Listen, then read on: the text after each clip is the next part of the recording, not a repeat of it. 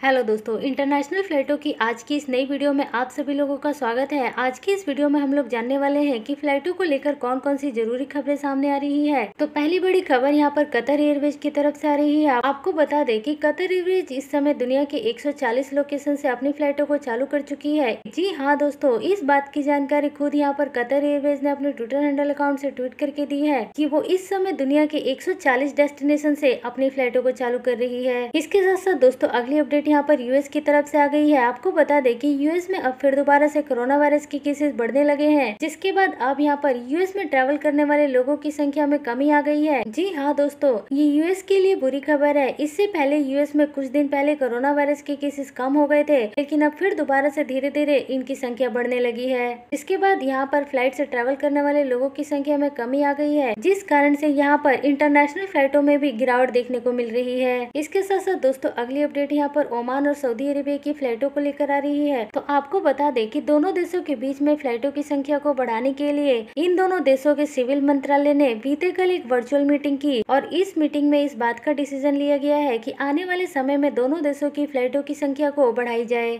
इस समय केरल के कोची और त्रिवेंद्रपुरम से ओमान के लिए फ्लाइटें ऑपरेट की जा रही है और इसके अलावा भारत के भी कई बड़े एयरपोर्ट, जैसे कि दिल्ली, मुंबई, इन एयरपोर्ट से भी ओमान के लिए फ्लाइटें चालू हो चुकी है।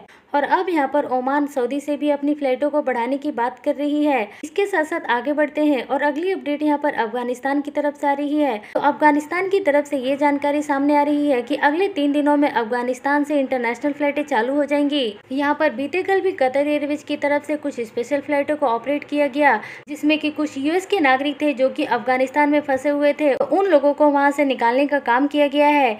तो दोस्तों, ये सारी खबरें आ रही थी इस समय अंतर्राष्ट्रीय उड़ानों से, जिसकी जानकारी आपको इस वीडियो में मिली है। वीडियो अच्छी लगी है तो इस वीडियो को ज़रूर लाइक करें और एयरलाइंस ट्रैवलिंग से और भी लेटेस्ट खबरों को यदि आप जानना चाहते हैं तो चैनल को ज़रूर सब्सक्राइब करके रखें।